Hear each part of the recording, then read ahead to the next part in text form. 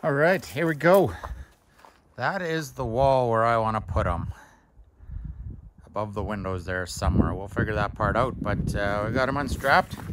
Check them out. I haven't actually measured them on that. He said they were 5 by 7 I'm guessing they're 5 by 10 sorry. They're probably more like, I'm going to say 4 by 10 But uh, you can see they kind of got that air gap layer in there, and then there's the hot box behind there. So I'm gonna unload these and hopefully we can just give it a temporary test yet today.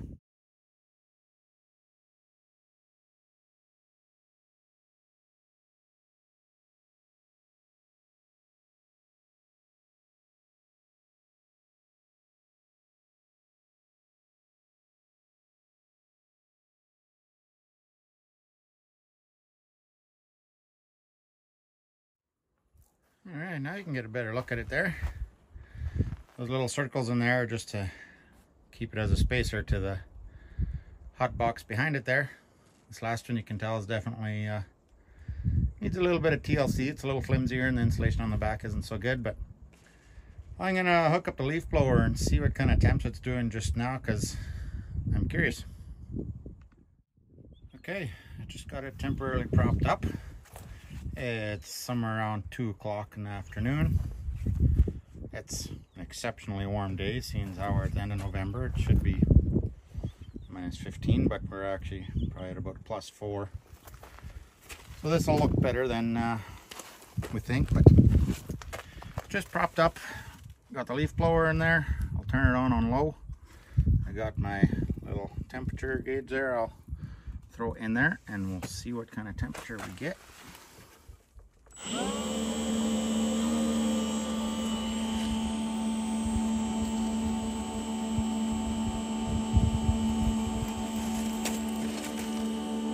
Definitely feels good and warm.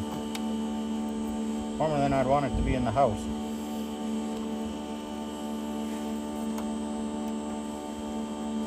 Will take a bit for it to crack, but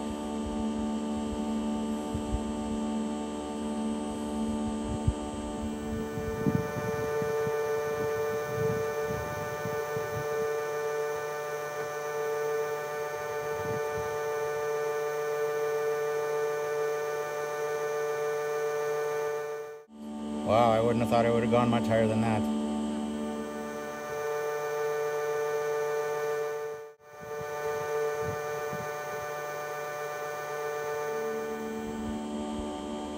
And that's just the probe sitting in the middle, not touching anything. It's just the ambient air that's that temperature.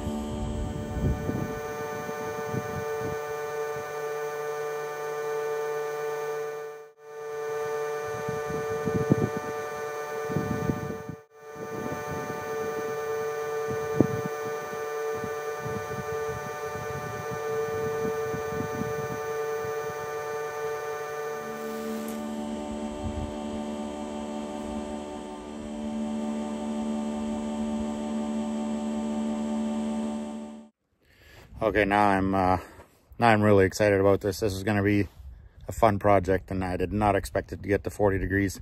It was still slowly climbing, but it definitely slowed down at that point. It is, like I say, it's about plus four today, so, but either way, a 40 degree temperature change is about 36 degrees, I guess. Uh, yeah, we're going to figure out how we're going to plumb it into the wall there and how we're going to mount them on the wall.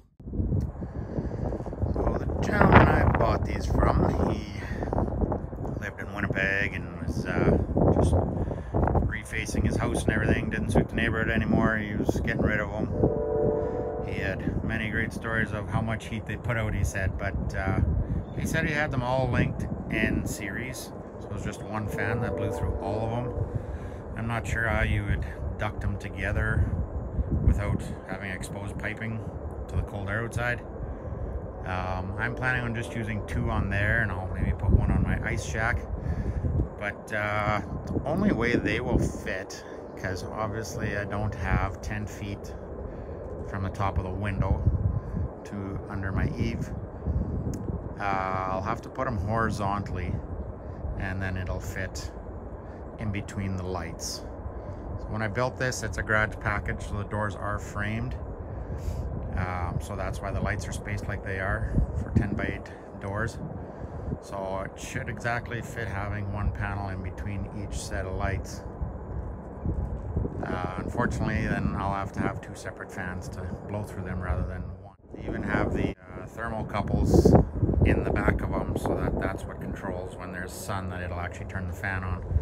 So I'll have to test them, make sure they work, but this is, uh, I think this is going to be a huge benefit.